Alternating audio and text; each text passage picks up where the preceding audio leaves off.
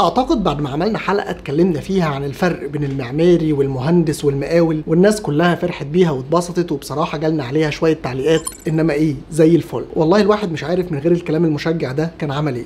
المهم بدأت تجيلي أسئلة تانية لناس عايزة تعرف الفرق بين المهندس المعماري ومهندس الديكور. وبصراحة السؤال عجبني وقلت طب ما نجيبها من الأول ونتكلم على كل التخصصات. من أول الراجل اللي بيخطط المدينة لغاية مهندس الديكور اللي بيصمم الفراغات الداخلية. واهو نبقى عرفنا كل حاجة بتتصمم إزاي وعرفنا دور كل واحد فيهم إيه بالتفصيل. علشان كده يلا بسرعة علشان الحلقة دي هتكون دسمة جدا. فانزل واعمل subscribe للقناة لو أنت مهتم بالفن المعماري. وطبعا لو الحلقة عجبتك ما تنساش ال like وال share. مش هوصيك بقى بنتعب في الحلقات فعايزين نطلع ترند. وخلينا نقول أهلا بيكم في حلقة جديدة من حكاية معماري. أنا أحمد علي ويلا بينا نبتدي الحكاية.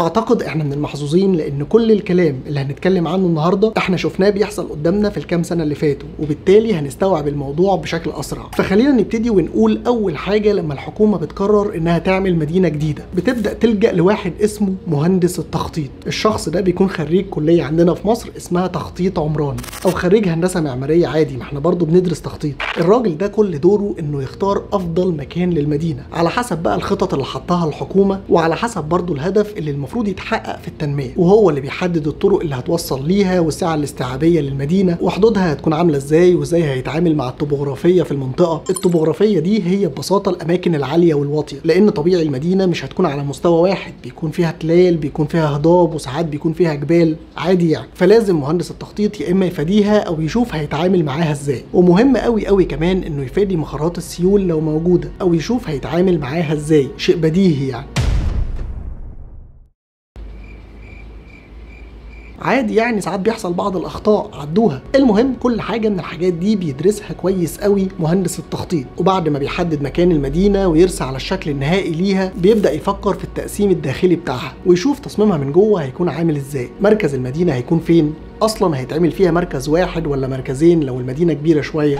وللناس اللي مش عارفة مركز المدينة ده هو المكان اللي بيتعمل فيه الخدمات بتاعة المدينة. الاسم بقى والحي والمنطقة التجارية والمستشفى الحاجات دي. بعد كده يبدا بقى يشوف تخطيط الشوارع هيكون عامل إزاي. هيعمل كام مجاوره سكنية. حتى المجاورات دي بيكون ليها تقسيمة. لازم المدينة يكون فيها مجاورات سكن فاخر ومتوسط واقتصادي. وكل واحدة فيهم بيكون ليها مركز للمجاورة. يتحط فيها جامع وحده صحية منطقة تجارية الناس تجيب منها الحاجة اللي محتاجاها. مدرسة تعليم أساسي كل الكلام الجميل ده. حتى عدد السكان اللي هيسكنوا في المجاورة المخطط بيحدده من الأول. ببساطة بيشوف المدينة متخططة علشان تستوعب كام نسمة وبيقسمها على المجاورات. والتقسيم طبعا بيكون على حسب نوع المجاورة. السكن الفاخر بيكون عدد السكان فيه أقل من السكن الاقتصادي. بس المهم إنه بيحدد كل حاجة قبل التنفيذ. وأنا بقول الكلام ده ليه؟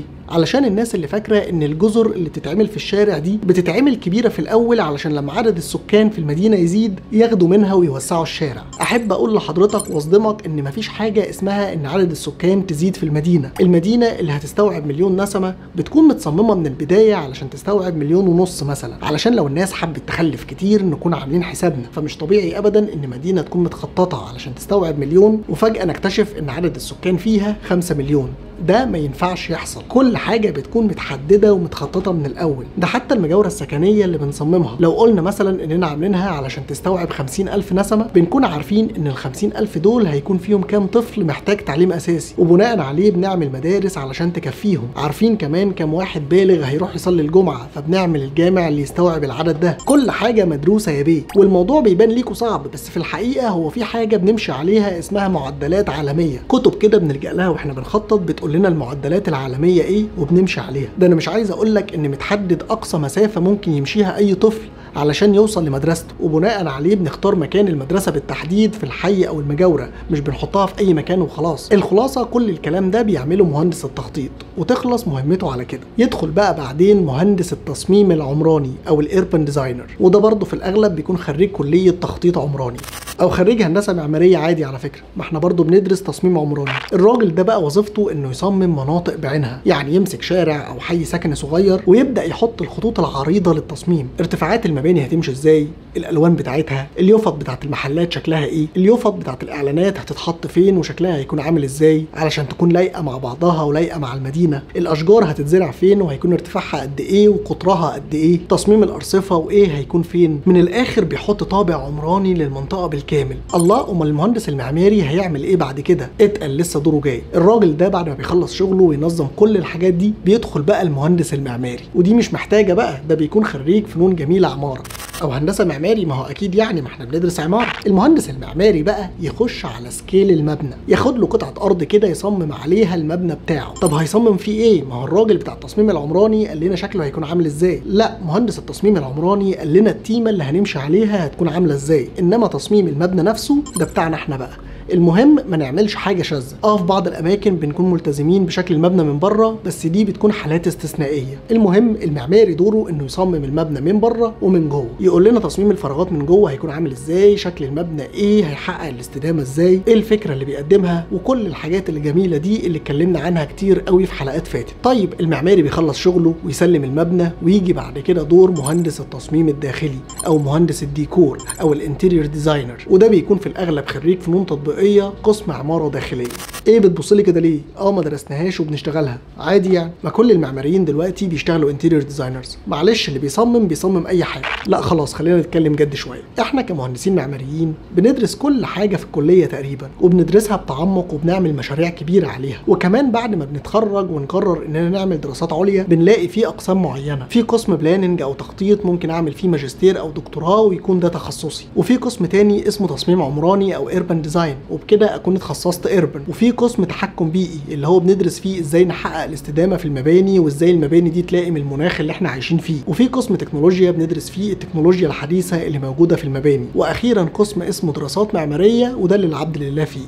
وده بندرس فيه فلسفة العمارة. ففعلا إحنا بنقدر نشتغل كل حاجة. هي فعلا الحاجة الوحيدة اللي ما درسناهاش بتعمق قوي وملهاش أي قسم عندنا هي التصميم الداخلي. بس بنشتغل فيها والله وبنطلع حاجات حلوة. سيبكم أنتوا بس من الخناقة دي وتعالوا نفهم مهندس الديكور بيعمل إيه. الراجل ده كل دوره إنه يصمم الفراغات الداخلية يصمم الديكور وأعتقد ده عارفينه كويس ومعظمنا اتعامل معاه. ده بيحدد ال style اللي هيتعمل في الفراغ ال material اللي هيستخدمها كل ما هو ليه علاقة بالتصميم الداخلي. ملوش دعوة بأي حاجة خالص خارج الفراغ. بس مش معنى إن ملوش دعوة فما يراعيش ده. لا لو تاخدوا بالكم إن كل تخصص من التخصصات اللي اتكلمنا عليها النهارده ليه علاقة بالتخصص اللي فوقيه والتخصص اللي تحتيه. إحنا كأننا بالظبط بنعمل zoom in و zoom out لكن في الآخر هي صورة واحدة. لازم كلنا نماتش مع بعض. علشان الموضوع ما يبانش إنه قص ولزق كل واحد بيكون عارف دوره آه بس برضه بيكون على علم بدور اللي اشتغل قبله ودور اللي هيشتغل بعده علشان يراعي ده في التصميم بتاعه. مش هدخل أنا كمصمم ديكور علشان أصمم شقة ألاقي المعماري عامل لي الباب في نص الأوضة مثلا. طب أنا هفرشها إزاي؟ ما هو لازم الباب يتعمل جنب الحيطة علشان أنا كمهندس أقدر أفرش الأوضة كويس. فاهمين قصدي؟ المهم هي منظومة كلها بتكمل بعض